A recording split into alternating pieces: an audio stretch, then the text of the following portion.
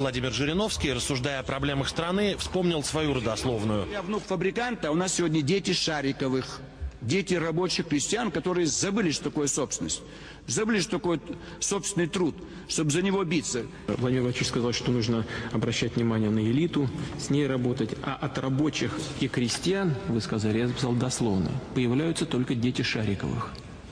Я сам из рабочей семьи, Владимир Львович. Я с вами абсолютно не согласен. Значит, э, э, нет, нет, я записал дословно. Может быть, да, ну я записал. Значит, э, у нас талантливый народ. Нам нужно бороться с бедностью и решать проблемы образования. И не люди виноваты в том, что часть населения у нас деградирует в связи с бедностью, в которую мы ее загнали за предыдущие 15 лет.